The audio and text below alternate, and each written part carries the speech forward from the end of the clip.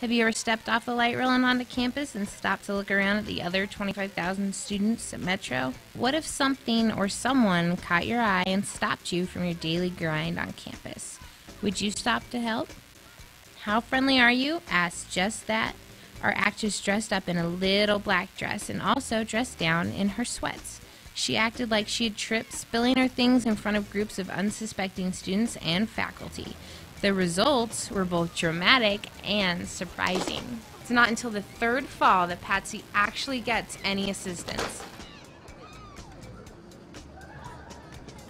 Faculty even stopped to help Patsy.